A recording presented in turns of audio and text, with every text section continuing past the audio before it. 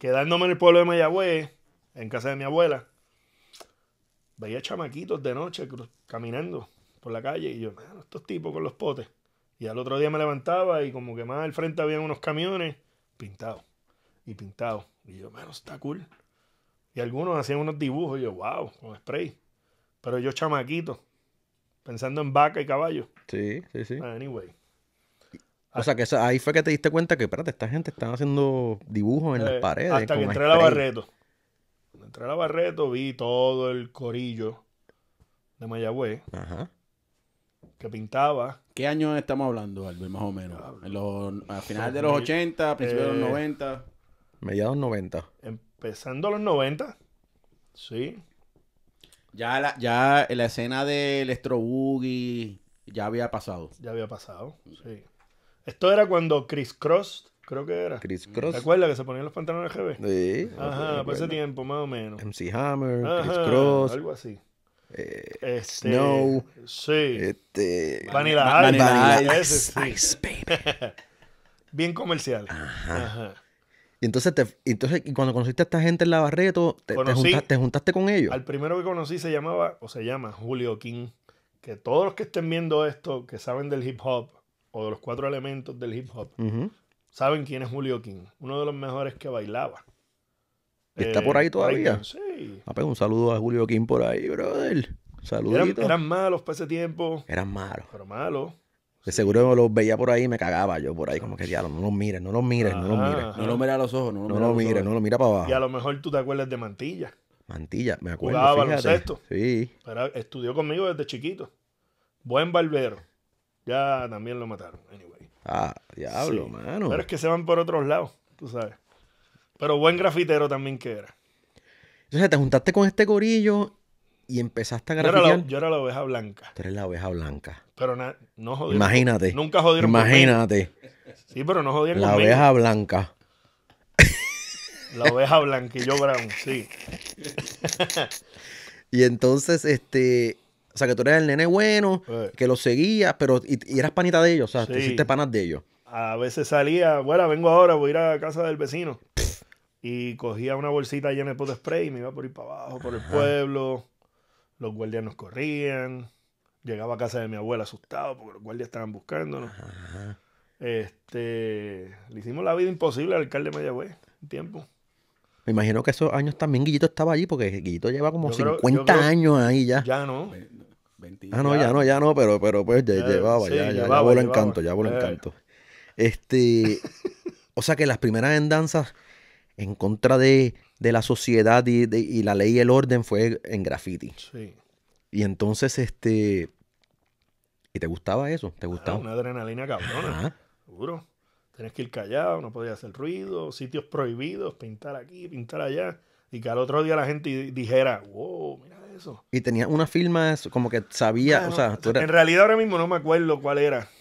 Era bien básico, eran tres, tres, cuatro letras. No me acuerdo. Pero pero tenías tu signature, Sí, ¿sabes? Como que era tu, eh, este Y- fue, esto fue, esto fue Albert. Y en la en el flow del graffiti, pues hacían nombre. No sabían quién carajo tú eras, pero se hablaba de ti.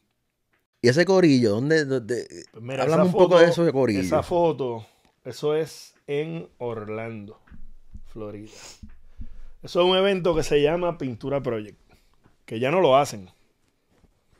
¿Quién tú eres? Ah, mírate allá El izquierda del abajo. pantaloncito rojo, gordito. Sí, sí, sí. sí. Ese Eso fue- grupo se llama los Silver Caps, Silver Caps. Worldwide. Hay gente del mundo entero. ¿Y, aquí, ¿Y qué hacían ellos? Cuéntame un poco, qué- Eh, ¿cuál era la... la- Bueno, pues nos invitaron para hacer un mural. Hay gente de España, Senegal, Rusia, Aguadilla, yo, eh, New York, California, Río Piedra, Santo Y- Domingo. De los locales, ¿quiénes están ahí? ¿Qué nombres tienes ahí? Pues mira, detrás de mí hay dos que tiene la camisa gris de manguillo, él es de Aguadilla. El que está detrás de él con las trenzas, que está al lado del de la gorra blanca, ese es Flavor, de Aguadilla. El de la camisa amarilla con la bandera de Puerto Rico Ujú. es de San Juan, ese es Ripman. Y, y ya, y yo. ¿Y qué, qué hacían? ¿Cuál, cuál, era el, cuál era el proyecto? hicimos un mural de casi 200 pies de largo Diablo. por como 40 de alto. Eh, graffiti. Cada uno hizo letras, hicimos un mural entre todos. Eh, compartimos con grafiteros del mundo entero también, aparte. Eh, la pasamos bien. Eso era, Ah, un, era un evento ya- eso fue un evento. un evento establecido ya, mira, Eh, sí, eso lo hacían con todos invi- los años. invitacionales. Invitacional. Y el graffiti, ir a un evento así, pone, un no- pone tu nombre bien alto. El graffiti, háblame un poco de eso. El graffiti Alto urbano. arte urbano, pero eso, eso, o sea, eso no es ilegal. O es ilegal. O sea, ¿qué, es- qué es lo que está mal en el, graf- en el graffiti? El bombardeo es ilegal. El bombardeo es cuando tú estás por ahí y ves una guagua pintada. Cuando ves un camión de la policía o... Es, es vandalismo. vandalismo. Eso es vandalismo. Pero, Pero, pues- pero que si tú grafiteas algo, ¿es porque algo privado que es ilegal o porque es algo público? ¿Cuándo es que no es, cuándo Cuando- no es válido el graffiti?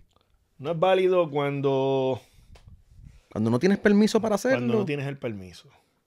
Ok. Exacto. Bueno, pero ahora yo, yo Es lo, sea, mismo, es lo mismo que cuando tú te tiras del avión. Si no tienes permiso, está al garete. No, tienes la adrenalina, ¿verdad? Ajá, pues sí. La adrenalina no te da como un permiso o un proyecto que yo estoy haciendo. Es irte bien tarde y que no te pillen. No, no, eso, eso yo lo entiendo, Ajá. eso yo lo entiendo, eso yo lo entiendo. Lo que pasa es que no sabía la legalidad de la cosa. Pero el graffiti, por ejemplo, en Arecibo, hay un, hay un, hay un sector en el casco urbano que hay un montón de graffiti. Y, y se ve cool. Y no, no, no son ilegales. ¿Será porque tienen unos permisos Tienen para per- poder hacer Tienen eso? que tener permiso, sí. Eso, el dueño, el municipio, hablaste con alguien, te lo dio por escrito, Exacto. ya es legal. Y entonces, este, te juntaste con los boys en la Barreto y empezaste a grafitear. Y luego, cuando, que, eh, háblanos un poco, ¿qué, qué, hacías además de, de pintar durante esos años de 17, 18, 19 años? ¿Pintar Escuchar- nada más? Escuchar música. ¿No rock, surfeaba? Todavía, Todavía. todavía. Ok. ok. Eh, pues, bregando con los animales. ¿Hasta qué edad estuviste bregando con, con tu finca? Bueno, como hasta los 18, 17. ¿Y qué fue lo que, que- qué fue lo que, por qué, qué, qué pasó? ¿Te independizaste? Empecé, empecé a surfear, porque mi hermano, mi hermano. Ok. Se iba con Ramses, con Cuajo. En aquel tiempo, yo era chamaquito. No estaba pendiente a eso. Anyway, pasaron situaciones de familia de familia. que mi papá decidió vender unas vacas y se fueron las mías en banda ok. para bregar con la situación. Muy bien. Eh, fui un día a la playa con unos amigos de la escuela y llegamos a Doms. Y allí había para verle gente surfear y yo, wow, esto está súper cool.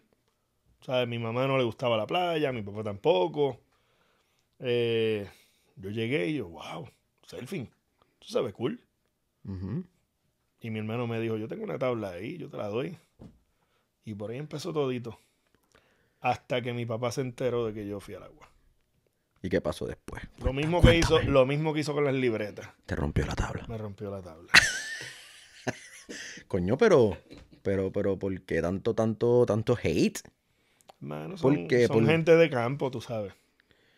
No, no cuadran con eso.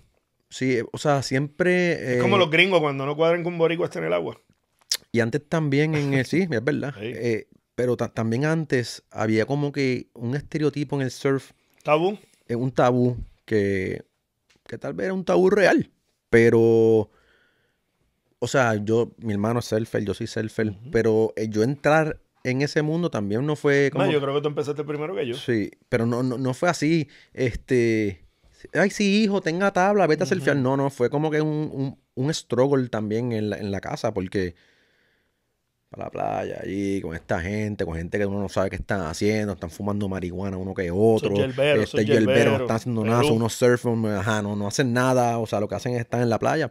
Y es cierto, Es cierto, pero. pues, Cortando clases, cortando Ah, clases. sí, Ajá. y es cierto, pero el que no, el que no está en ese mundo no entiende el por qué. No entiende la, la gran satisfacción que hace el surf en la vida y, y- y en el sentimiento que, que positivo. Hay gente que va a la iglesia y es satisfactorio. Exacto. Pues y pecan mismo, todos los y días. pecan. Y pe- pero pecan más que tú y yo.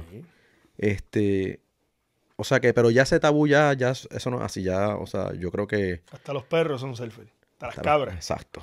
¿Viste el video ese de la cabra en 13? Sí, Pues, sí, Cualquiera puede ser fiel. sí. El, el surfing tuvo una. Una reacción positiva en, en tu arte. Me sacó del graffiti. Te sacó del graffiti. Y te, te Y, me- y se me olvidó lo que era dibujar. Por- hubo un tiempo en mi vida que surfing nada más. se me olvidó. Sí. Era el jangueo, Mayagüez. Eh, Normal, bueno, normal, sí, normal, normal. sí, la vida, sí. la vida, la el vida de colegio, la vida, la vida de un joven. Un joven surfer. Un joven Sí. surfer, sí, sí, sí. Ese día estaba bien bueno. Eso me imagino, Doms, Eso María, Doms de lo- un sol del oeste. con un longboard. Siempre te, siempre te vi con longboard. Este, ¿no? ¿O sí? No, yo usaba tabla. Tabla. Lo que pasa es que, volviendo para atrás, llevando unos caballos de la finca a otro sitio, había que bajar una cuesta que era bien empinada y la guagua se quedó sin freno. Yo tuve un leve accidente y me jodió una rodilla. Ok. Se me hacía difícil. Yo mido 6 pies, ¿sabes? 200 libras casi. Pararse en una tabla. Eh, era medio jodoncito. Y me puse a usar el longboard. Flota más, pues. ¿Y eso fue en qué año? Más o menos 2000, Bueno, sí, más o menos. 2000 por ahí. Sí. ¿Y esa foto? Uh, Huracán María. Huracán María. Sí. Doms. Doms otra vez. también. Diablo, Doms representando. Esos días mágicos. Ahí estaba Alexis Pauling. Estaba Roger Moore, que en paz descanse. Ese día se dio unos tubos. Feo. Brandon. Creo que Ramses también estaba ese día. Éramos bien poquitos. Los locales de allí, Ajá. los locales. Eso fue como el día número 5, Después. 6 después del huracán. Estaba bueno. Todo estaba perfecto.